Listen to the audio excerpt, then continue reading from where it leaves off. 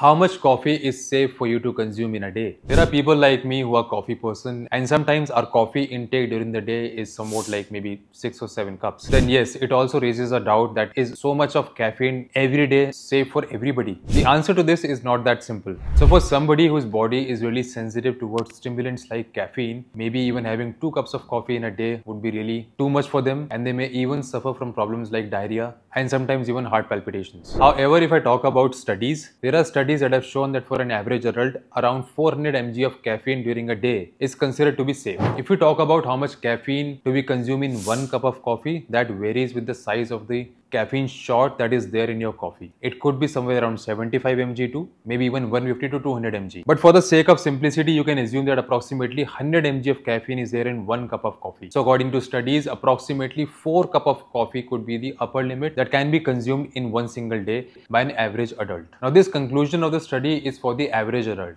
How much caffeine is good for you would depend upon the kind of lifestyle that you follow, the overall diet that you have, the caffeine tolerance that your body has adapted to, and various other factors. But there are a few symptoms that you should notice that happens with too much of caffeine intake during the day. Symptoms like restlessness, not able to sleep, anxiety, rapid heartbeats, dizziness, stomach upset, and diarrhea. If you're having any such symptoms, maybe it is time to reduce your caffeine intake for the day.